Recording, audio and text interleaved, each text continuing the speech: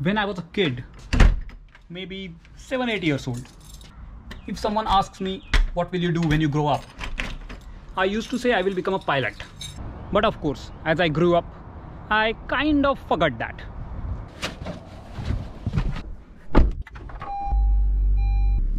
But today, I decided to act on it.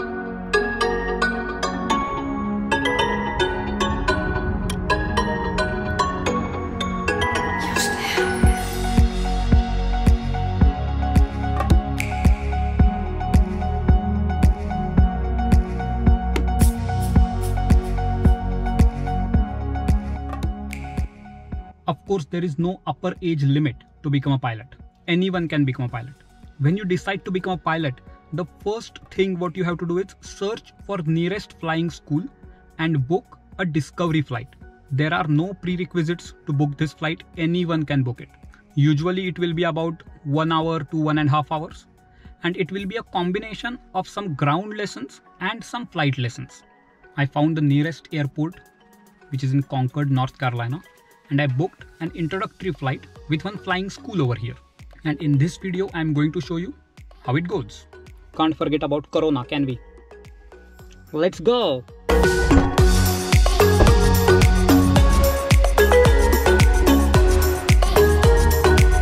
Now let's see what happens on your first day of flying lessons. As you enter, probably you will talk with the receptionist who will introduce you to your flying instructor.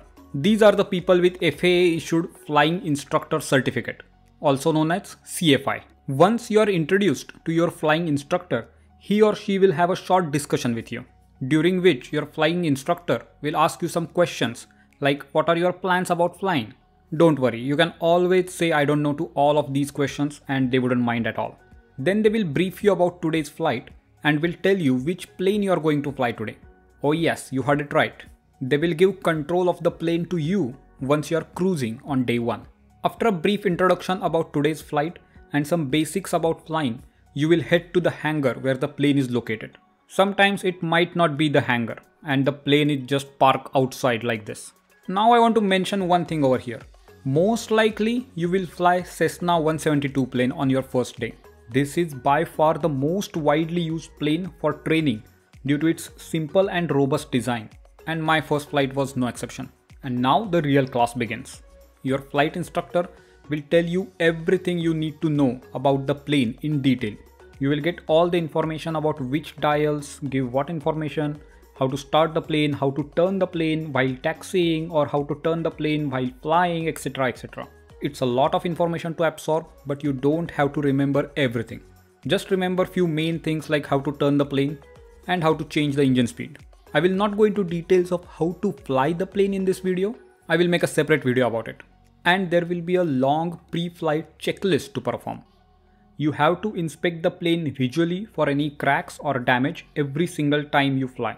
Then you have to manually check how much fuel is remaining and are there any impurities in the fuel. You cannot just trust the fuel gauge like a car. To be honest, it's really a long list. And again, I will not go into details, but it includes everything like checking tire pressure, engine oil, lights, etc. It takes almost half an hour to 45 minutes to do all the checks. Then you hop in the plane. You have to use these headphones. And these are special aviation headphones. They are noise cancelling because once that engine starts, trust me, you will be needing noise cancellation. And also you will use these headphones to communicate with your instructor. One more time your instructor will brief you about all the controls and then you start the engine and taxi to the start of the runway. Now the next part varies a little bit depending from which airport you are taking off. If it's a big airport or small one. If it's a big or even medium sized airport, then your instructor will talk to the air traffic control tower and ask the permission for takeoff. Also the instructor will note down the current weather information from radio. And again you will perform a final pre-takeoff checklist to make sure everything is working fine. Aviation is all about safety so there are many many checklists and they are for your safety. So never be lazy and skip over any item. Do it all thoroughly. Once you get the permission for takeoff, then you will align the plane with the center line of runway and give a full throttle. Plane will start speeding up and you have to keep an eye on the speed. And when specific takeoff speed is reached, the instructor will pull back on the yoke and the plane will slowly lift off the ground. This takeoff part will be mostly performed by your instructor, but he will be explaining at every step about what he's doing and why he's doing that. And the controls in these planes are such that if someone pulls on one yoke on one side, then another yoke also moves the same. So you can just keep your hands on the yoke and you can feel what he's doing. Same with the paddles in your legs. You can just feel what is going on and get the idea about how plane reacts when something is changed. You will climb up to some desired altitude and then fun begins. In my case, we climbed to 2500 feet. Now he will hand over controls of the plane to you. Then he will ask you to do some basic maneuvers. Well, very basic maneuvers. Like he will say, take the left turn while keeping the altitude constant. The reason to say constant altitude is because if you just turn the plane towards left, it starts losing altitude as well. So you have to pull back the yoke a little bit simultaneously while turning it to the left. Then go to the right, go up, go down, etc. etc. You will get a quick grasp of it. And trust me, that feeling is amazing. We did one very interesting maneuver where he pointed to one building on the ground on my left side and said take a full 360 degree turn around it without changing the altitude. Later he showed me the turn I took on the map and it was almost perfect. This is the actual snapshot. Anyway, after 30-40 minutes of flying, he will ask you to head back. In my case, the plane was pretty old, so it did not have the latest navigation equipment. So he had an iPad with him on which we were able to see the path and other planes around us. After going near the airport, instructor will take controls back from you and perform the landing. Again, you can get a feel of everything he is doing and he will be explaining that as well.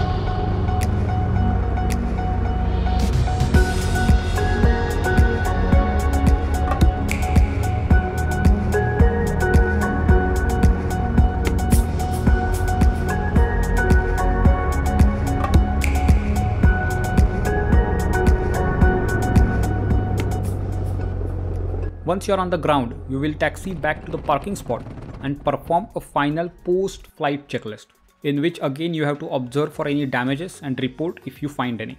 Finally, again you will have one-to-one -one session with your instructor in office, where he will explain to you the process of getting private pilot license, or commercial if you want that. This process is quite long and complicated, so I will make a separate video about how to get a private pilot license and how much it costs. You can also ask any questions if you have. And that's it. That's the first lesson in flying. This is where your journey begins. We did it! If you like this video, please give it a thumbs up and share with your friends. Also, don't forget to subscribe to this channel. I will be making regular update videos about my progress towards becoming a pilot and explain to you every single step of it. If you have any questions, please let me know in the comment section below. And as always, thank you for watching. Oh, sorry, that's from my another YouTube channel. Anyway, see you soon.